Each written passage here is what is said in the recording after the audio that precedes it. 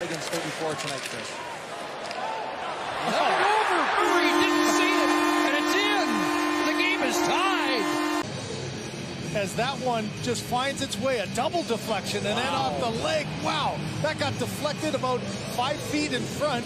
Brännström's shot gets deflected there by Pinto off the leg of Gauthier and Brodie, and a one hopper over Murray.